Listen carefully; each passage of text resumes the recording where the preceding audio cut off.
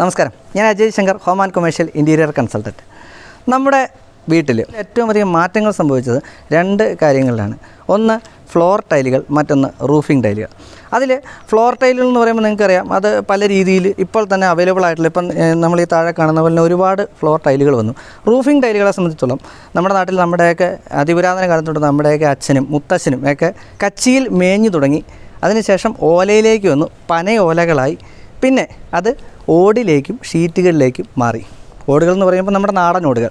പിന്നെ ഒന്ന് ഷീറ്റുകൾ എന്ന് പറഞ്ഞാൽ ആസ്പെറ്റോസ് ആസ്പെറ്റോസ് മാറി നമ്മുടെ സാധാ ഈ വെള്ളമൊക്കെ വീഴുമ്പോൾ നല്ല ഒച്ച കേൾക്കുന്ന ഇമ്പമുള്ള ഒച്ച കേൾക്കുന്ന ഷീറ്റുകളിലോട്ട് വന്നു. പിന്നെ ഓടുകൾ വന്നു കഴിഞ്ഞാൽ നാടൻ ഓടുകൾ മാറി സെറാമിക് ഓടുകൾ വന്നു. അതുപോലെ തന്നെ വിദേശ യൂറോപ്യൻ രാജ്യങ്ങളിൽ നിന്നൊക്കെ ഓടുകൾ വന്നു തുടങ്ങി. അപ്പോൾ ഇങ്ങനെയുള്ള റൂഫ് ടൈലുകൾ ഇപ്പോൾ എത്തി നിൽക്കുന്നത് ഒരു നൂതനമായിട്ടുള്ള ആശയത്തിലാണ്. അങ്ങനെയുള്ള ഒരു പ്രസ്ഥാനത്തിലാണ് ഞാൻ നിൽക്കുന്നത് അങ്ങനെയുള്ള പ്രൊഡക്റ്റാണ് ഞാൻ നിങ്ങളെ പരിചയപ്പെടുത്താൻ പോകുന്നത് എം എഫ് പി അതായത് mineral fibre polymer roof tiles. അപ്പോൾ നമുക്ക് അതിനെക്കുറിച്ചുള്ള വീഡിയോ ആണ് ഇന്ന് നിങ്ങൾ കാണാൻ പോകുന്നത്. ഈ വീഡിയോയിൽ നിങ്ങൾക്ക് സ്പോൺസർ ചെയ്തിരിക്കുന്ന കിടങ്ങാത്തന്റെ പ്രൈസസ് ആണ്. അപ്പോൾ ഡോക്ടർ ഇന്ത്യയുടെ പുതിയ എപ്പിസോഡിലേക്ക് എല്ലാവർക്കും സ്വാഗതം. നമ്മളിപ്പോൾ കാണാൻ പോകുന്നത് എം എഫ് പിയെ കുറിച്ചാണ്. അതെന്ത് ടെക്നോളജി ആണെന്നുള്ളത് നമുക്ക് പറഞ്ഞു തരുന്നത് ഡെറിനാണ് നമസ്കാരം. നമ്മുടെ ഡോക്ടർ ഇന്ത്യയുടെ ചാനലിലേക്ക് സ്വാഗതം. നമ്മുടെ നാട്ടിൽ ഒരുപാട് റൂഫിംഗ് രീതികൾ. അതായത് പല രീതികളും ഞാനത് ആദ്യം ഇൻട്രോയിൽ പറയുകയായിരുന്നു. അപ്പോൾ ഇപ്പോഴത്തെ ഏറ്റവും മികച്ച ടെക്നോളജിയാണ് നമ്മളിപ്പോൾ ചെയ്തിരിക്കുന്നത് അല്ലേ? അതെ. M F P M F P അതായത് ഇപ്പോൾ പറയുവാണെങ്കിൽ നമ്മൾക്ക് നമ്മുടെ നാട്ടിൽ ഒരുപാട് ടൈലുകൾ പുതിയതായിട്ട് വരുന്നുണ്ട്. അപ്പോൾ അത് ഇപ്പോൾ നമുക്ക് ചൈനീസ് റെഡ് തൊട്ട് സെറാമിക് വൈറ്റിലെ അങ്ങനെ ഇപ്പോൾ യൂറോപ്യൻ റെഡ് ക്ലേ അങ്ങനെ പലതരം മോഡുകൾ പുതിയതായിട്ട് വരുന്നു. എന്തുകൊണ്ടാണ് ഇങ്ങനെ വരുന്നത് അങ്ങനെ എന്താണ് മാർക്കറ്റിൽ ഡിമാൻഡിന് കാരണമെന്ന് ആലോചിച്ചപ്പോൾ ചൂടാണ് പ്രധാനമായി എന്ന് മനസ്സിലായി. ഇപ്പോൾ ചൂടിന് എങ്ങനെ ഒരു പരിഹാരം ഉണ്ടാക്കാം? ഈ ക്ലേകൾ ഇങ്ങനെ പുതിയ തരം ക്ലേന്റെ ഓടുകൾ വരുന്നുണ്ട്. അത് പരിഹാരമാകുന്നുണ്ടോ എന്നുള്ള ചിന്തകൾ എല്ലാം കൂടി കൊണ്ടാണ് എം എഫ് പി അല്ലെങ്കിൽ nano ceramic roof tile introduction ആയത്. അതായത് ഇതിന് ടെക്നോളജി എന്ന് പറഞ്ഞാൽ നാനോ ടെക്നോളജിയാണ് അതെ നാനോ ടെക്നോളജി തീർച്ചയായും നാനോ ടെക്നോളജി എന്ന് പറയാൻ സാധിക്കും. എങ്ങനെയാണെന്ന് വെച്ചാൽ സെറാമിക് എന്നൊരു വസ്തുവിനെ ആസ് എ സച്ച് നമുക്കതൊരു ഹാർഡ് വസ്തുവാണ്. സ്ട്രോങ് ആണെന്ന് നമുക്ക് അറിയാം പക്ഷേ അതിനെ ഹാൻഡിൽ ചെയ്യാൻ എളുപ്പമല്ല. നമ്മുടെ സാധാരണ ഓട് തന്നെ എടുക്കാം. ഹാൻഡിൽ ചെയ്യാൻ എളുപ്പമല്ല. പക്ഷേ നമ്മളത് ഇത്തിരി കൂടി ഹാൻഡിൽ ചെയ്യാൻ പറ്റുന്ന ഒരു വസ്തുവായിട്ട് ചിന്തിക്കുക. അപ്പോൾ അതിന് ആസ് എ സച്ച് ആ പാർട്ടിക്കിളിന് ആ ഒരു സ്വഭാവം ഉണ്ടാവില്ല. പക്ഷേ അതിന്റെ ഏറ്റവും ചെറിയ ഫോം നാനോ ഫോമിലെടുക്കുക അതായത് നമുക്ക് പറയുകയാണെങ്കിൽ മില്ലി മൈക്രോ നാനോ ഏറ്റവും ചെറിയ പാർട്ടിക്കിൾ നാനോ ഫൈബർ ആക്കി മാറ്റിയിട്ട് ഈ നാനോ ഫൈബറിനെ നമ്മൾ കോമ്പൗണ്ട് ചെയ്യുമ്പോഴാണ് നാനോ സെറാമിക് വരുന്നത്. ഓക്കെ അപ്പോൾ നമുക്കിത് ഓൾറെഡി ഫ്ലെക്സിബിളുമാണ് അതേസമയം വേറെ എക്സാമ്പിൾ പറയുകയാണെങ്കിൽ നമ്മുടെ മുടി എടുക്കുക. മുടി ഒരു കെറാറ്റിൻ ഫൈബർ ആണ്. മുടീനെ ഒരു വലിയ ഒരു മരത്തിന്റെ അത്രയും മണ്ണുള്ള ഒരു വസ്തുവായിട്ട് ചിന്തിക്കുക. ഒടിക്കാൻ പറ്റോ? വളയ്ക്കാൻ പറ്റോ? ഇല്ല. പക്ഷെ മുടി എന്നൊരു ചെറിയ ഫൈബറിനെ നമുക്ക് വളക്കാൻ എളുപ്പമാണ്. പക്ഷെ അത് ഒടിയത്തില്ല. നല്ല സ്ട്രോങ് ആണ്. ഫ്ലെക്സിബിൾ ആണ്. സെയിം കോൺസെപ്റ്റ് തന്നെയാണ് നമ്മൾ സെറാമിക്കിലേക്ക് നാനോ സെറാമിലേക്ക് ഉപയോഗിച്ചിരിക്കുന്നത്. ഇത് നമ്മൾ ഇവിടെ മാത്രമേ പുതിയതായിട്ടുള്ളൂ. ഇപ്പോൾ യൂറോപ്യൻ കൺട്രീസ് എക്സ്ട്രീം ഹീറ്റും എക്സ്ട്രീം കോൾഡും വരുന്ന ഒരു സ്ഥലമാണ് യൂറോപ്പ് ഇറ്റലിയൊക്കെ എടുത്തു കഴിഞ്ഞാൽ അവിടെയൊക്കെ നമ്മൾ നമ്മൾ ആലോചിക്കും അല്ലെങ്കിൽ വെറുതെ ഒന്ന് സെർച്ച് ചെയ്താലും നമുക്കറിയാം അവിടെ ഒരു പത്ത് പത്- പത്ത് പന്ത്രണ്ട് വർഷത്തോളം അവർ കണ്ടിന്യൂസ് ആയിട്ട് യൂസ് ചെയ്യുന്ന ഒരു സംഭവമാണ് ഈ ഇങ്ങനത്തെ റൂഫ് ടൈൽസ് എന്തുകൊണ്ട് നമ്മുടെ നാട്ടിൽ ഈ ഒരു ടെക്നോളജിനെ ഇംപ്ലിമെന്റ് ചെയ്തുകൂടാ എന്നുള്ള ആലോചനയിലാണ് ഇത് ഈ പ്രോഡക്റ്റ് കണ്ടുപിടിച്ചത്. അപ്പോൾ ഇതാണ് നമ്മുടെ താരം. ഇത് മൂന്ന് കളറിൽ ഇപ്പോൾ അവൈലബിൾ ആണല്ലേ അതെ. ഓക്കെ ഇത് നോക്കുമ്പോഴത്തേക്കും ഒരു എന്താ പറയുക തീരെ വെയിറ്റ്ലെസ് ആയിട്ടുള്ള ഒരു പ്രൊഡക്റ്റാണ് അത് തന്നെയാണ് ഇതിന്റെ പ്രത്യേകത ഏറ്റവും വലിയ പ്രത്യേകത അതെ. അതാണ്. അതിലോട്ട് നമുക്ക് വരാം. ആദ്യമായിട്ട് എനിക്കിപ്പോൾ ഒരു സാധാരണ കസ്റ്റമർ എന്നുള്ളത് ചോദിക്കാനുള്ളത് നമ്മൾക്ക് ഉപയോഗിച്ചുകൊണ്ടിരുന്ന ബാക്കിയുള്ള ഇപ്പം നാടൻ ഓടുകളിൽ നിന്നും നമ്മുടെ സെറാമിക് ഓടുകളിൽ നിന്നും എങ്ങനെയാണ് ഈ ഒരു പ്രോഡക്റ്റ് വ്യത്യാസപ്പെട്ടിരിക്കുന്നത് അല്ലെങ്കിൽ ഇതിന്റെ അഡ്വാന്റേജസ് എന്തൊക്കെയാണ്? ആദ്യം പറഞ്ഞ പോയിന്റ് തന്നെ ഞാൻ ഫോക്കസ് ചെയ്യും. കാരണം ബാക്കിയുള്ള ഓടുകൾ നമ്മൾക്കിപ്പോൾ എടുക്കുവാണെങ്കിൽ Indian red clay Mangalore tiles എന്ന് അറിയപ്പെടുന്നുണ്ട് രണ്ട് കിലോയാണ് അതിന്റെ വെയിറ്റ് നമ്മളുടെ സ്പാനിഷ് റെഡ് ക്ലേ പുതിയതായിട്ട് വന്നേക്കുന്നത് നാലര കിലോ. ഇതിന് മുന്നേ നമ്മുടെ നാട്ടിൽ സ്ഥിരമായിട്ട് കണ്ടുവരുന്ന സെറാമിക് ക്ലേ അല്ലെങ്കിൽ ചൈനീസ് വൈറ്റ് ക്ലേ ഇതിന്റെ ഓടിന് രണ്ടര കിലോ വരും. ചൈനീസ് റെഡ് ക്ലേ ആകുമ്പോൾ നാല് കിലോ വരെ വെയിറ്റ് വരുന്നുണ്ട്. അപ്പോൾ ഇത്രയും വെയിറ്റ് കൂടിയ ഒരു വസ്തുവിനെ നമ്മൾ വീടിന് മുകളിൽ വെക്കുന്നതായിട്ട് ആലോചിക്കുക. ഈ ഒരു പോയിന്റ് മനസ്സിലാച്ചുകൊണ്ട് ഞാൻ പറഞ്ഞിട്ട് നമ്മളിപ്പോൾ വാട്ടർ ടാങ്ക് വെക്കുവാണ്. ആയിരം ലിറ്ററിന്റെ വാട്ടർ ടാങ്ക് നമ്മൾ വെക്കുന്നത്. ഇത് എവിടെ വെക്കും നമ്മളൊന്ന് ആലോചിക്കും. കാരണം വീടിന് ദോഷമൊന്നും വരരുത്. ഇരുന്ന് പോകാൻ പാടില്ല. ഈ ചിന്തകളൊക്കെ നമ്മൾ വെക്കും. പക്ഷേ ഇത്രയും വെയിറ്റ് ഉള്ള ഓട് നമ്മുടെ വീടിന്റെ മേളിൽ നമ്മൾ വെക്കുമ്പോൾ ഇതൊന്നും നമ്മൾ ആലോചിക്കണില്ല തീർച്ചയായും.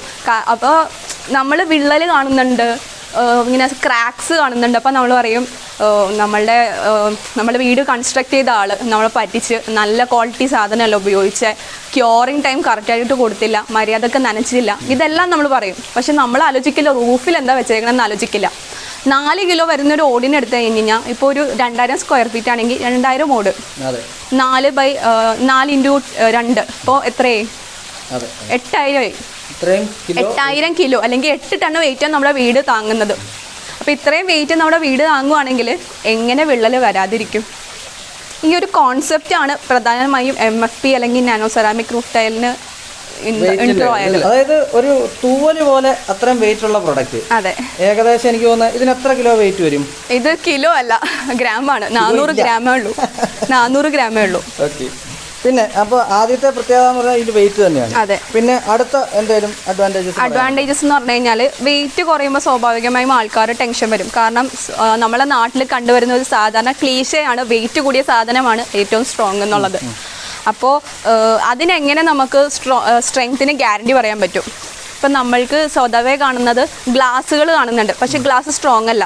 ഗ്ലാസിന്റെ ഫൈബേഴ്സ് വെച്ചിട്ടാണ് ബോട്ടുകൾ ഉണ്ടാക്കുന്നത്. പക്ഷെ അത് സ്ട്രോങ് ആണ്. ലാസ്റ്റ് ചെയ്യുന്നുണ്ട്. അപ്പം നേരത്തെ പറഞ്ഞ പോലെ നാനോ ടെക്നോളജി ഇതിലേക്ക് വന്നത് അങ്ങനെയാണ്. Nano ceramic as a nano fibre വളരെ സ്ട്രോങ്ങും ബോണ്ടിങ്ങും ഉള്ള സംഭവമാണ്. പൊട്ടത്തില്ല. ഇപ്പൊ ഡ്രസ് വർക്കേഴ്സിന് ഏറ്റവും കൂടുതൽ ഫേസ് ചെയ്യുന്ന പ്രോബ്ലം ആദ്യത്തെ നിര വിഴിക്കും. രണ്ടാമത്തെ നിരയിലേക്ക് അവർക്ക് പോകണമെങ്കിൽ സൂക്ഷിച്ച് ചവിട്ടണം. അതെ അതെ. എങ്ങാനും മറിച്ചോട്ട് ഒരു ഓടെങ്കിലും പൊട്ടിയിരിക്കും. അല്ലെങ്കിൽ സ്ക്രൂ ചെയ്യുമ്പോൾ അങ്ങനെയൊക്കെ പൊട്ടാൻ സാധ്യത കൂടുതലാണ്. അപ്പോൾ ഇന്ന് നമ്മൾ എല്ലാ കൺസേൺസും വെച്ചിട്ട് ഇപ്പോൾ ഡ്രസ് വർക്കേഴ്സിന് കൂളായിട്ട് നടന്നു നോക്കാം കയറി ചവിട്ടാം എന്നും ചെയ്യാം. ഒടിയത്തില്ല. തേങ്ങ വീണ പൊട്ടോ എന്നുള്ളത് മെയിൻ കൺസേൺ ആണ്. തേങ്ങ വീണ പൊട്ടത്തില്ല. അപ്പോൾ എനിക്ക് ഇനി അത് ഒരു ചെറിയ സംശയം. ഇതൊരു പി വി സി പ്രോഡക്റ്റ് ആണോ? പി വി സി പ്രൊഡക്റ്റ് അല്ല. കാണുമ്പോൾ നിങ്ങൾക്ക് അങ്ങനെ ഒരു സംശയം തോന്നിയേക്കാം. അല്ലെങ്കിൽ കയ്യിൽ പിടിക്കുമ്പോൾ ഒരു സംശയം തോന്നിയേക്കാം. പക്ഷേ ഇതൊരു പി വി സി പ്രൊഡക്റ്റ് അല്ല. നമ്മൾ ഞാൻ നേരത്തെ പറഞ്ഞ പോലെ നാനോ ടെക്നോളജി പ്യുവർലി ഉപയോഗിച്ചത് കൊണ്ട് നാനോ സെറാമിക്കിനെ ഞാൻ സ്ട്രെസ് ചെയ്ത് പറയുന്നത്. ഇതിനകത്ത് നമ്മൾ വളരെ കുറച്ചത്. അതായത് ബോണ്ടിങ്ങിന് വേണ്ടി മാത്രം. നമ്മുടെ ഏറ്റവും നല്ലൊരു ബോണ്ടിങ് വരുന്നത് പോളിമറിനാണ്. അപ്പോൾ ബോണ്ടിങ്ങിന് വേണ്ടി മാത്രമായിട്ട് നമ്മൾ പോളിമർ യൂസ് ചെയ്തേക്കുന്നത്. അല്ലാതെ ഇത് ഒരു പോളിമറായിട്ട് കമ്പയർ ചെയ്യാൻ പോലും പറ്റാത്ത ഒരു പ്രോഡക്റ്റാണ് സാധിക്കാത്ത പ്രോഡക്റ്റ് അതെ അതെ. പിന്നെ ഇതിലിപ്പോൾ നമുക്ക് പ്രധാനമായിട്ടും ആൾക്കാർ സാധാരണഗതിയിൽ ചോദിക്കുന്നത് നിറം മങ്ങുമോ എന്നുള്ളതാണ്. സാധാരണ ഓടുകളിലൊക്കെ നമ്മൾ സാധാരണ കാണുന്നൊരു പ്രതിഭാസമാണ്. ഏറ്റവും ഹാംഫുൾ ആയിട്ടുള്ള ഒരു റേസ് ആണ് യു വി റേസ് നമുക്ക് സൺബേൺ തൊട്ട് സ്കിൻ ക്യാൻസർ വരെ വരുന്ന ഒരു റേസ് അത് അപ്പോൾ അതിന്റെ ആസ്പദമാക്കി നമ്മൾ ഏതൊരു പാർട്ടിക്കിൾ എടുക്കുവാണെങ്കിലും കളർ ഫെയിലിങ്ങിന് കാരണം യു വി റേസ് ആണ്. ഇപ്പോൾ ഏതൊരു അപ്പോൾ നമ്മൾക്ക് ഇപ്പോൾ സ്വതവേ കേട്ടിട്ടുണ്ട് യു വി ട്രീറ്റഡ് അങ്ങനെയാണ്. അപ്പോൾ അതേ ടെക്നോളജിയാണ് ഇതിൽ യൂസ് ചെയ്തേക്കുന്നത്. ഇതിൽ യൂസ് ചെയ്തേക്കുന്ന കളേഴ്സ് എല്ലാം യു വി ട്രീറ്റഡ് ആണ്. അപ്പോൾ കളറിന്റെ ലൈഫ് കൂട്ടും. യു വി റേസ് അടിച്ചാലും ഇതിന് കളർ ഫീഡിങ് വരത്തില്ല. വരത്തില്ല. ആൾക്കാർ എന്നും എപ്പോഴും റൂഫിങ്ങിലോട്ട് വരുമ്പോൾ ഏറ്റവും കൂടുതൽ നമ്മുടെ ചാനലിൽ നമ്മൾ കേട്ടിരിക്കുന്നത് ഇടിമിന്നലാണ്. അതായത് അതൊരു പ്രൊട്ടക്ഷന്റെ ഭാഗവും കൂടിയാണ്. പ്രൊട്ടക്ഷന്റെ ഭാഗമാണ് പാനിക്കിന്റെ ഭാഗമാണ്. വളരെ നമ്മളുടെ നാടിന് ഇടിമിന്നൽ ഇത്തിരി കൂടുതലുള്ള സ്ഥലമാണല്ലോ. നമ്മൾക്ക് ഇതിനകത്ത് കണ്ടുപിടിക്കാൻ പറ്റിയ ഒരു ഫീച്ചർ എന്താണെന്ന് വെച്ച് കഴിഞ്ഞാൽ ഇതിൽ ഇലക്ട്രിക് ഡിസ്ചാർജ് നടക്കില്ല. അതായത് ഈ ഒരു കോമ്പൗണ്ടിങ്ങിൽ ഡയലക്ട്രിക് പ്രോപ്പർട്ടി എന്ന് പറഞ്ഞൊരു പ്രോപ്പർട്ടി ഉണ്ട്. അത് എന്ത് ചെയ്യുമെന്ന് വെച്ച് കഴിഞ്ഞാൽ നിസ്സാരമായി പറഞ്ഞു കഴിഞ്ഞാൽ ഇലക്ട്രിക് ഡിസ്ചാർജ് കണ്ടക്ട് ചെയ്യില്ല. ഇത്തിരി കൂടി സിമ്പിളായിട്ട് പറഞ്ഞു കഴിഞ്ഞാൽ conductors semi conductors bad conductors നമ്മുടെ പ്രോഡക്റ്റ് എന്ന് പറഞ്ഞു കഴിഞ്ഞാൽ പ്യുവർലി ബാഡ് കണ്ടക്ടറാണ് അതുകൊണ്ട് തന്നെ ഇതിൽ ഇലക്ട്രിക് ഡിസ്ചാർജ് ഒരു ശതമാനം പോലും നടക്കില്ല. എല്ലാത്തിലും നമുക്ക് ഒരുപാട് പ്രതിസന്ധി നേടുന്ന ഒരു സംഗതിയാണ് പൂപ്പൽ പിടിക്കുക അല്ലെങ്കിൽ കറുത്ത പൊടി വരിക അല്ലെങ്കിൽ ഇങ്ങനെ ബ്രൗൺ ആയിട്ടുള്ള ഒരു ഡിസ്ചാർജ് സംഭവിക്കാം. ഇതെല്ലാം പൂപ്പലിന്റെ തന്നെ വേറെ വേറെ വകഭേദങ്ങളാണ്. എന്താണ് വരാനുള്ള കാരണം എന്നും കൂടി ഞാൻ വ്യക്തമാക്കിയിട്ട് ഇതിന്റെ ക്വാളിറ്റി ഞാൻ പറയാം. സാധാരണമായി കാണപ്പെടുന്ന ഓടുകളിൽ വെള്ളം അബ്സോർബ് ചെയ്യാനുള്ള ഒരു സംഭവമുണ്ട്. അതായത് നമുക്ക് ചോക്ക് എടുക്കാം. ചോക്ക് വെള്ളത്തിൽ അല്ലെങ്കിൽ മഷിയുടെ അടുത്ത് വെച്ച് കഴിഞ്ഞാൽ അത് വലിച്ചെടുക്കും. സെയിം ക്വാളിറ്റി അല്ലെങ്കിൽ സെയിം ക്യാരക്ടർ തന്നെ സാധാരണമായി നമ്മൾ കാണപ്പെടുന്ന ഓടുകളിലുണ്ട്. പോറസ് മെറ്റീരിയൽ എന്ന് ഞങ്ങൾ ഇത്തിരി കൂടി ടെക്നിക്കലായിട്ട് പറയും. അപ്പോൾ പോറസ് ആയിട്ടുള്ള ഒരു മെറ്റീരിയലിൽ വെള്ളം അല്ലെങ്കിൽ മോയ്സ്ചർ എവിടെയെങ്കിലും ഉണ്ടെങ്കിൽ അത് അബ്സോർബ് ചെയ്യും. അപ്പോൾ കാലക്രമേണ അതിൽ വെള്ളത്തിന്റെ അംശങ്ങൾ ഉള്ളത് കൊണ്ട് തന്നെ നമ്മുടെ അറ്റ്മോസ്ഫിയറിൽ അത്യാവശ്യം ഇതിന്റെയൊക്കെ എന്താ പറയുക ഫംഗൽ ഗ്രോത്ത് എല്ലാം നമ്മുടെ അറ്റ്മോസ്ഫിയറിൽ ഉള്ളതാണ് അപ്പോൾ ഓടോ എക്സ്പോസ് ആയി കിടക്കുന്ന ഒരു വസ്തുവാണ്. അപ്പോൾ ഇത് അധികം വെളിയിലോട്ട് നിൽക്കുന്നു ഏറ്റവും അടി അതെ ഇത്തിരി കൂടി വ്യക്തമായി പറഞ്ഞാൽ അപ്പോൾ ഇങ്ങനെ ഉള്ള വസ്തുവും വെള്ളവും കൂടി അടുത്ത് വന്നു കഴിഞ്ഞാൽ ഇത് ഡെവലപ്പ് ചെയ്യാനുള്ള ചാൻസസ് കൂടുതലാണ്. ഡെവലപ്പ് ചെയ്യുന്നത് പുറത്ത് സർഫസിലല്ല സ്റ്റോക്കിന്റെ കാര്യം പറഞ്ഞ പോലെ അകത്തുമുണ്ട് ഇതിന്റെ വെള്ളത്തിന്റെ അംശം. ചുരുക്കം പറഞ്ഞേ ഇത്രേ ഉള്ളൂ. നമ്മൾ വർഷങ്ങൾക്ക് ശേഷം പെയിന്റ് അടിച്ചു എന്ന് കണക്കാക്കുക. ഒരു പ്രയോജനവും ഇല്ല. ഒരു പ്രയോജനമില്ല കാരണം ഇപ്പോൾ ഇപ്പോൾ സാധാരണക്കാർ അത് മൂന്ന് വർഷം കൂടുമ്പോൾ പെയിന്റ് ചെയ്യുന്നു.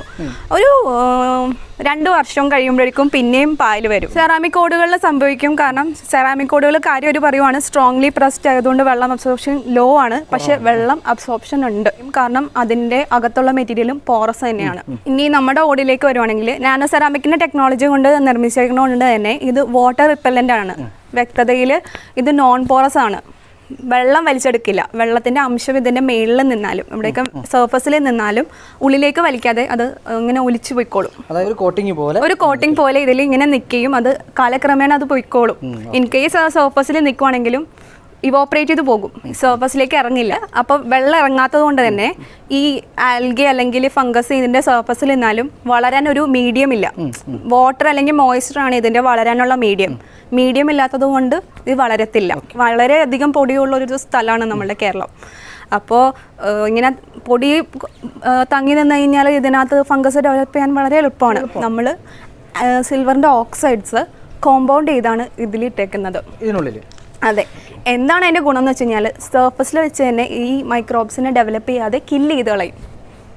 അപ്പോൾ ഇൻ കേസ് ഒരു ഫംഗസിനെ ഡെവലപ്പ് ചെയ്യാൻ ഒരു മീഡിയം വന്നാലും നമ്മൾക്ക് അതിനെ അവിടെ വെച്ച് തന്നെ കില്ല് ചെയ്ത് കളയാം. എന്നാലും സംഗതി കൊള്ളാം. കാര്യം എന്താണെന്ന് വെച്ചാൽ ഇതിപ്പോൾ കയ്യിലിരുന്ന ഒരു വീശുവാള പോലെ നമുക്ക് യൂസ് ചെയ്യാം. ഒന്ന് വീശാനാണെങ്കിലും ഒരു കുഴപ്പമില്ല. ഇപ്പം തന്നെ നമ്മളിപ്പോൾ നിൽക്കുന്ന ഏകദേശം ഒരു അഞ്ച് മണി കഴിഞ്ഞ് ഇപ്പോഴും നമുക്ക് ഇവിടെ നിൽക്കുന്നതുകൊണ്ട് വലിയ പ്രശ്നമില്ല. അല്ലെന്നുണ്ടെങ്കിൽ വീടിനുള്ളിലോട്ടാക്കി എടുത്തു കഴിഞ്ഞാൽ ചൂട്.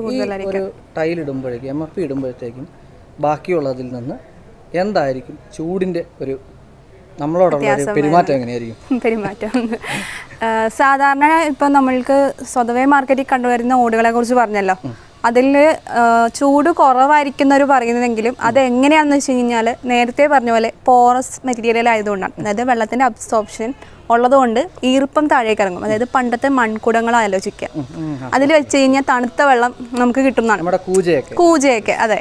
അപ്പോൾ സെയിം പ്രോപ്പർട്ടിയാണ് അവർ ഉദ്ദേശിക്കുന്നത്. അല്ലെങ്കിൽ അതിനകത്ത് വെള്ളം വലിച്ച് ഈർപ്പം നിൽക്കുമ്പോൾ ഒരു തണുപ്പ് നമ്മൾക്ക് കിട്ടും. ആ മനസ്സിലായി. അതായത് വെള്ളം വലിക്കുന്നു ആ തണുപ്പ് അവർ താഴേക്ക് താഴേക്ക് തരുന്നു. പക്ഷേ ഇത് ചൂടിനും കാരണമാകും. കാരണം വെള്ളത്തിന്റെ ഒരു സ്വഭാവം എന്ന് വെച്ച് കഴിഞ്ഞാൽ വെള്ളം ആ പ്രദേശത്തുള്ള ഏത് ടെമ്പറേച്ചറാണോ അത് വലിച്ചെടുത്താണ് ആ വെള്ളം അത് ബിഹേവ് ചെയ്യുന്നത്.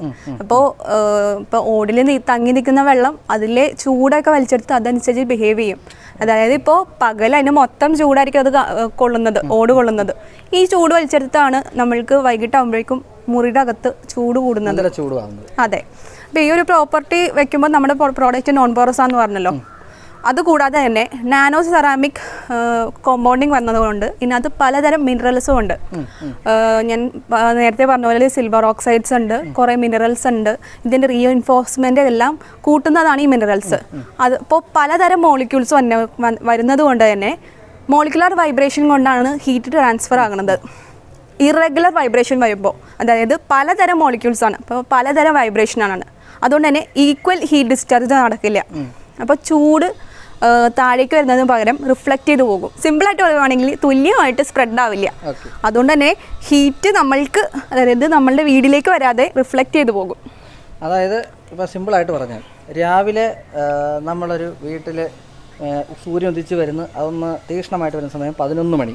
ഒരു നാല് മണിയായാൽ നമ്മുടെ വീടിനുള്ളിൽ വശം ചൂടാകുമോ ചൂടാകില്ല. കാരണം സർഫസ് ഹീറ്റായി അത് റേഡിയേറ്റ് ചെയ്തുകൊണ്ടിരിക്കും.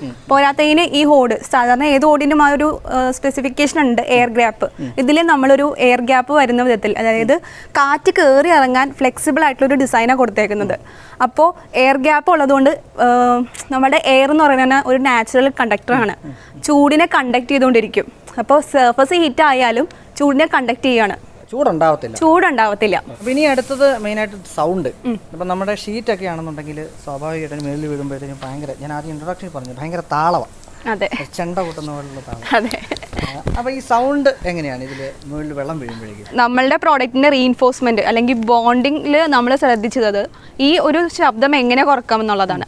ആ പ്രോപ്പർട്ടി വെച്ച് തന്നെയാണ് നമ്മൾ ഇത് ബിൽഡ് ചെയ്തേക്കുന്നത്. ഇപ്പോൾ സെറാമിക് കോഡ് ആയിക്കോട്ടെ റെഡ് ക്ലേ ആയിക്കോട്ടെ ഏതൊരു ഓർഡർ എടുത്താലും സൗണ്ട് ഡാമിങ് വളരെ ഹൈ ആണ്. സെയിം തന്നെയാണ് നമ്മുടെ ഓടിനും ഇപ്പോൾ റൂഫിംഗ് ടൈൽസിൽ ഒരുവിധപ്പെട്ട പ്രോഡക്റ്റുകളെല്ലാം വരുന്നത് ഇപ്പോഴത്തെ ദിവസത്തിൽ ചൈന പ്രോഡക്റ്റുകളാണ് നമ്മുടെ പ്രോഡക്റ്റ് അതിന്റെ അവൈലബിലിറ്റി അതിനെക്കുറിച്ചൊന്ന് പറയാമോ നമ്മുടെ പ്രോഡക്റ്റ് ഇത്രയും കൂടി വ്യക്തമായി പറഞ്ഞാൽ അല്ലെങ്കിൽ എന്റെ ഒരു എനിക്കൊരു പ്രൗഡ് ഫീലിംഗ് വരുന്നത് മെയ്ഡ് ഇൻ ഇന്ത്യ പ്രോഡക്റ്റ് ആണ്. നമ്മൾക്ക് നമ്മുടെ ഇവിടെ എറണാകുളത്ത് ക്രിയേറ്റ് ചെയ്യുന്ന ഒരു പ്രോഡക്റ്റാണ് അതുകൊണ്ട് നമുക്ക് എക്സ്പോർട്ട് എന്നൊരു ഒരു ചിന്ത പോലും വരുന്നില്ല. റെഡിലി അവൈലബിൾ ആയിട്ടുള്ള പ്രോഡക്റ്റ് ആണ്. ഏതൊരു കസ്റ്റമർ ഞങ്ങളെ കോൺടാക്ട് ചെയ്താൽ അവരുടെ സൈറ്റിൽ നമ്മൾക്ക് എത്തിച്ചു കൊടുക്കാൻ പറ്റും. ഇപ്പോൾ എക്സ്പോർട്ടിൽ മെയിൻ ആയിട്ടൊരു പ്രശ്നം തന്നെ ചൈനയുടെ കാര്യമൊന്നും എടുക്കാതെ തന്നെ നമുക്ക് മെയിൻ ആയിട്ടൊരു പ്രശ്നം വരുന്ന പറഞ്ഞാൽ ഒരു ഓടൊക്കെ പൊട്ടിപ്പോയി. അതായത് ഇപ്പോൾ വലിയ നമ്മൾ ഞാൻ നേരത്തെ പറഞ്ഞ പോലെ ഏറ്റവും ചൂട് പ്രതിരോധിക്കുന്നത് സ്പാനിഷ് ടൈലാണ് നമ്മൾ ഇമ്പോർട്ട് ചെയ്യും. ഒരു ഒരു എൻ നമ്പർ ഓഫ് ക്വാണ്ടിറ്റീസ് നമ്മൾ ഇമ്പോർട്ട് ചെയ്യും. പക്ഷേ ലേ ചെയ്ത് ഒരു അഞ്ചാറ് വർഷം കഴിയുമ്പോൾ ഇതിൽ എന്തെങ്കിലും ഒന്ന് വീണ് പൊട്ടിപ്പോയി. എന്തെങ്കിലും മരം വീണോ എങ്ങനെയെങ്കിലും പൊട്ടിപ്പോയി. നമുക്ക് ഒരു അഞ്ചാറ് ഓട് വേണം. നമ്മളുടെ കയ്യിൽ സ്റ്റോക്ക് ഉണ്ടാവില്ല. അപ്പോൾ നമ്മൾക്ക് എക്സ്പോർട്ട് ചെയ്തെടുക്കാൻ പറ്റില്ല. കാരണം ഒരു അഞ്ചെണ്ണമായിട്ടൊക്കെ നമുക്ക് എക്സ്പോർട്ട് ചെയ്യാൻ പറ്റില്ല. ചിലപ്പോൾ എക്സ്പോർട്ട് ചെയ്യാൻ പോലും എക്സ്പോർട്ട് ചെയ്യാനൊരു സ്ലോട്ട് ഉണ്ടെങ്കിലും ആ മോഡൽ ഔട്ടായിട്ടുണ്ടാവും കളർ അവൈലബിലിറ്റി ഉണ്ടാവില്ല. അങ്ങനെ കുറേ പ്രശ്നങ്ങൾ വരും. അപ്പം നമ്മളുടെ പ്രോഡക്റ്റ് എന്ന് പറഞ്ഞാൽ ഇവിടെ തന്നെ ഉള്ളതുകൊണ്ട് ഏത് കാലത്തും നമ്മൾക്ക് ഏത് കളറും നമുക്ക് റെഡിലി പ്രൊവൈഡ് ചെയ്യാൻ പറ്റും. പറ്റും. നെറ്റ്വർക്കിംഗ് എങ്ങനെയാണ്? ഇപ്പോൾ എനിക്കൊരു ഞാനിപ്പോൾ തിരുവനന്തപുരത്തുള്ള ഒരാളാണ്. എനിക്ക് പ്രൊഡക്റ്റ് വേണം. തീർച്ചയായും ഞാൻ നേരത്തെ പോലെ പറഞ്ഞതുപോലെ തന്നെ നമ്മൾ കോൺടാക്ട് ചെയ്യുകയാണെങ്കിൽ നമ്മുടെ സെയിൽസ് എക്സിക്യൂട്ടീവ് അവിടെ വന്ന് അവിടെ റെഫർ ചെയ്യുകയും എത്ര ക്വാണ്ടിറ്റി ആണോ വേണ്ടത് അത് നമ്മൾ ഡയറക്റ്റ് എത്തിച്ചു കൊടുക്കും. അതായത് ഇങ്ങനെ പറയാൻ സാധിക്കുമോ നമുക്ക് വേറെ ഡീലേഴ്സ് വഴിയല്ല. ഡീലേഴ്സ് വഴിയല്ല നമുക്ക് ഡയറക്റ്റ് ഡീൽ ചെയ്യാവുന്നതാണ്. യെസ് സാധാരണഗതിയിൽ നമ്മുടെ നാട്ടിൽ യൂസ് ചെയ്യുന്ന ക്ലേ ആണ്. ഇതിനകത്ത് എന്താണ് ക്ലേ യൂസ് ചെയ്യാത്തത്? നമ്മൾ ഏർത്തിൽ നിന്ന് ക്ലേ എക്സ്ട്രാക്ട് ചെയ്യുമ്പോൾ നമ്മൾ ഏർത്തിനെ തന്നെ റിട്ടേൺ ചോദിക്കുന്നത് കാരണം ഓരോ പ്രപ്പോർഷനേറ്റ് ഉണ്ട് ഓരോ സോയിലിന്റെ അപ്പോൾ ക്ലേയുടെ ശതമാനം കുറയുമ്പോൾ നമ്മൾ എന്താ പറയുക ലിറ്ററലി ഏർത്തിനെ ദ്രോഹിക്കുക ചെയ്യുന്നത് അപ്പോൾ ആ ഒരു കോൺസെപ്റ്റ് മനസ്സിൽ വെച്ചാണ് നമ്മൾ ക്ലേനെ ഉപദ്രവിക്കാതെ അത് അവിടെ തന്നെ ഇരുന്നോട്ടെ എന്ന് വെച്ചാണ് നമ്മൾ സെറാമിക്കിലേക്ക് തിരിഞ്ഞുകയും നാനോ സെറാമിക് ആക്കുകയും ചെയ്തത്. ടെക്നോളജിയിലോട്ട് വരികയും ചെയ്യുന്നത് അതെ അതെ. നിങ്ങൾ ടാഗ് ലൈൻ പറയുന്ന പോലെ save mother same mother save earth ഇനി ഏറ്റവും പ്രധാനപ്പെട്ടത് എന്നും എപ്പോഴും നമ്മുടെ ചാനലിൽ ഏറ്റവും കൂടുതൽ ആൾക്കാർ ചോദിക്കുന്ന ഒരു സംഗതിയുണ്ട്. എല്ലാത്തിനും റേറ്റ് പറയുക എന്നത് അതൊരു ശീലമായി പോയതുകൊണ്ട് നമുക്ക് എത്രയാണ് റേറ്റ് വരുന്നത്. റേറ്റ് ഇപ്പോൾ നമ്മുടെ ഓടുകൾക്ക് എയ്റ്റി ഫൈവ് റുപ്പീസ് ആണ് വരുന്നത് പെർ പീസ് അപ്പോൾ ഒരു സ്ക്വയർ ഒരു മീറ്റർ സ്ക്വയറിൽ നമുക്കൊരു പതിനഞ്ച് ഓടോളം വരും ലേ ചെയ്യുമ്പോൾ പിന്നെ ഡിസൈൻസ് ആണെങ്കിൽ ആണെങ്കിൽ പെക്കുലറായിട്ട് ഇപ്പോൾ ഒരു മോഡൽ മാത്രമേ ഉള്ളൂ. പക്ഷേ പുതിയ ഡിസൈൻസ് അപ്ഗ്രേഡ് ചെയ്ത് വരുന്നുണ്ട്. അപ്പോൾ അതിന്റെ പ്രോസസ്സ് നടന്നുകൊണ്ടിരിക്കുകയാണ്. ഇപ്പോൾ ഇതിൽ തന്നെ പല കളേഴ്സ് അവൈലബിൾ ആണ്. ഇപ്പോൾ റിലീസിംഗ് എന്ന് പറഞ്ഞു കഴിഞ്ഞാൽ ആദ്യം കണ്ട പോലെ തന്നെ ടെറാക്കോട്ട കളർ ബ്രൗൺസിന്റെ രണ്ട് ഷെയ്ഡ് ഉണ്ട് ബ്ലാക്ക് ഇത് കോമൺലി മാർക്കറ്റിൽ ഏറ്റവും ഡിമാൻഡ് ഉള്ളതാണ്. പക്ഷേ ഇപ്പോൾ ഒരു കസ്റ്റമർ വന്നിട്ട് പറയുകയാണ് അവരുടെ ആർക്കിടെക്റ്റ് ഇന്ന കളറിലാണ് ഇപ്പോൾ എക്സാമ്പിൾ ഒരു ഗ്രീൻ കളറാണ് ഒരു നല്ലൊരു ഈ പൂൾ ഗ്രീൻ കളറോ അങ്ങനെ എന്തെങ്കിലും ഒരു കളർ ട്രെൻഡ് അനുസരിച്ചുള്ള ട്രെൻഡ് അനുസരിച്ചുള്ള ഏത് കളറാണ് അവർ ചെയ്തേക്കെന്ന് പറഞ്ഞു കഴിഞ്ഞാൽ നമ്മൾക്കത് കസ്റ്റമൈസ് ചെയ്ത് കൊടുക്കാൻ പറ്റും. ഈ കളറിനൊരു പ്രത്യേകതയുണ്ട്. ഇത് ഫുൾ ബോഡിയാണ് അല്ലേ? അതെ. അതായത് ഇത് കട്ട് ചെയ്താലും നമ്മുടെ ഫുൾ ബോഡി അതെ അതായത് ഇപ്പോൾ ഹോമോജീനിയസ് ആണ് ഇതിന്റെ കോമ്പൗണ്ടിങ് അതായത് ഒരു മോൾഡിന്റെ അകത്ത് വെച്ച് തന്നെ ഇത് കംപ്ലീറ്റ്ലി കോമ്പൗണ്ട് ചെയ്യുകയാണ് ചെയ്യുന്നത്. അതുകൊണ്ട് തന്നെ നമ്മൾക്ക് ഏത് ആംഗിൾ ഇത് കട്ട് ചെയ്താലും നമ്മൾക്ക് ഇതിന്റെ കളറിൽ ഒരു ചേഞ്ചും വരില്ല. പിന്നെ മറ്റൊരു പ്രശ്നം എന്ന് പറയുന്നത് ലീക്കേജ് ആണ്. അത് ഇത്തിരി കൂടി സ്പെസിഫൈ ചെയ്യേണ്ട ഒരു കാര്യമാണ്. കാരണം നമ്മൾ ഓട് ലേ ചെയ്യും സാധാരണമായി ലേ ചെയ്യും വലിയ പ്രശ്നമൊന്നും കാണത്തില്ല. പക്ഷേ നമ്മൾക്ക് കാലാവസ്ഥ മാറുവാണല്ലോ പെട്ടെന്നായിരിക്കും മഴ വരുന്നത് അപ്പോൾ ലീക്കിംഗ് വരുന്നു. പക്ഷേ പെട്ടെന്ന് നോക്കുമ്പോൾ പൊട്ടലും ഒന്നും കാണത്തില്ല. അപ്പോൾ ഇതിന്റെ മെയിൻ കാരണം എന്ന് പറഞ്ഞാൽ ഡൈമെൻഷണൽ സ്റ്റെബിലിറ്റി ഇല്ലാത്തതാണ്. ഞാനിപ്പോൾ പറഞ്ഞ പോലെ മോൾഡിങ്ങിന്റെ കാര്യം പറഞ്ഞ പോലെ ഇത് നമ്മൾ മോൾഡിങ് ചെയ്യുന്നതിനെ കൊണ്ടുള്ള പ്രശ്നമാണ്. സാധാരണ ഓടെടുത്തതിൽ ഇത് നമ്മൾ ഒരു കോൾ പ്രസ് ചെയ്തിട്ട് നമ്മൾ ചൂളയിൽ വെച്ച് ചുട്ടെടുക്കുകയാണ് ചെയ്യുന്നത്. അപ്പോൾ ഇതുകൊണ്ട് സംഭവിക്കണമെന്ന് പറഞ്ഞു കഴിഞ്ഞാൽ ചെറിയ ഡൈമെൻഷണൽ സ്റ്റെബിലിറ്റി വരും. അതായത് വാർപ്പേജ് എന്ന് പറയും. ടെക്നിക്കൽ ടേമിൽ അതായത് ഇപ്പോൾ വ്യക്തമായി പറഞ്ഞു കഴിഞ്ഞാൽ ചെറിയ ഈ തൂങ്ങി പോവുക ഷ്രിങ്കിങ് വരിക ചില ആംഗിളിങ് വ്യത്യാസം വരിക അങ്ങനെയൊക്കെ പറ്റും. അപ്പോൾ ഇത് രണ്ട് വിധത്തിൽ നമ്മൾക്ക് വ്യൂ ചെയ്യാൻ പറ്റും. ഒന്ന് ലേ ചെയ്യുന്ന ആൾക്കാരെ കഷ്ടപ്പെടുന്നത്. സ്ക്രൂയിങ് ചെയ്ത് വരുമ്പോൾ ആംഗിളിങ് തെറ്റിയിട്ട് ഒടിഞ്ഞു പോകും ടൈൽ അങ്ങനെ ഒരു എഫക്റ്റ് വരും. രണ്ടാമത്തെ എഫക്റ്റ് ലീക്കേജ് ആണ്. ലീക്കേജ് എന്ന് പറഞ്ഞു കഴിഞ്ഞാൽ എല്ലാം കഴിഞ്ഞ് എല്ലാം ലേ ചെയ്ത് എല്ലാം കഴിഞ്ഞ് നമ്മൾ അറിയുന്നത് അപ്പോൾ ഈ ഒരു ഫാക്ടർ നമ്മൾക്ക് എങ്ങനെ അവോയ്ഡ് ചെയ്യാമെന്ന് വെച്ച് കഴിഞ്ഞാൽ നമ്മളുടെ മോൾഡ് എന്ന് പറഞ്ഞു കഴിഞ്ഞാൽ കംപ്ലീറ്റ്ലി മോൾഡിൽ വെച്ച് തന്നെ കൂൾ ചെയ്താണ് പുറത്ത് വരുന്നത് നമ്മുടെ ഓട്. അതുകൊണ്ട് തന്നെ zero point zero one percentage ആണ് ഇതിന്റെ ഡയമെൻഷണൽ സ്റ്റെബിലിറ്റിയിൽ ഡിഫറൻസ് വന്നാൽ അഥവാ വന്നാൽ. വന്നാൽ പക്ഷേ വരാൻ ഒട്ടും ചാൻസ് ഇല്ല. ഈ സീറോ പോയിന്റ് സീറോ വൺ എന്ന് പറയുന്നത് മറ്റേ ബാക്ടീരിയ പറഞ്ഞ പോലെ ഇപ്പോൾ അപ്പോൾ നമ്മളിപ്പോൾ കണ്ടത് എം എഫ് പി റൂഫ് ടൈലുകളെ കുറിച്ചാണ്. അതായത് ഞാൻ ആദ്യം പറഞ്ഞതുപോലെ നമ്മളൊരു വീട് വയ്ക്കുമ്പോഴത്തേക്കും അതിനകത്ത് ഏറ്റവും അധികം ചിന്തിക്കാതെ വിടുന്ന ഒരു കാര്യമാണ് റൂഫിംഗ് ടൈലുകൾ റൂഫിംഗ് ടൈലുകളോട്ട് വരുമ്പോഴത്തേക്കും ഒരുപാട് പ്രൊഡക്റ്റ് നമ്മൾ കാണുന്നു. അതിൽ ഏറ്റവും ബെസ്റ്റ് പ്രൊഡക്റ്റ് എന്താണെന്ന് നമ്മൾ ചൂസ് ചെയ്യുക എന്നത് മാത്രമേ ഉള്ളൂ. അപ്പോൾ നമ്മുടെ എം എഫ് പിയെ കുറിച്ചുള്ള ഡീറ്റെയിൽസ് ഞാൻ നമ്മുടെ ഡിസ്ക്രിപ്ഷൻ ബോക്സിൽ വിടുന്നുണ്ട്. അതുപോലെ തന്നെ അവരുടെ നമ്പർ ഡിസ്ക്രിപ്ഷൻ ബോക്സിൽ ഞാൻ കൊടുക്കുന്നുണ്ട്. നിങ്ങൾ നേരിട്ട് വിളിക്കുക. കൂടുതലായിട്ടുള്ള കാര്യങ്ങൾ അതിനകത്ത് നമുക്കറിയാൻ സാധിക്കും. അപ്പോൾ ഇതുപോലെ നൂറ് ശതമാനം ഉപകാരപ്രദമായിട്ടുള്ള വീഡിയോസ് നമ്മുടെ ചാനലിൽ വീണ്ടും വരും.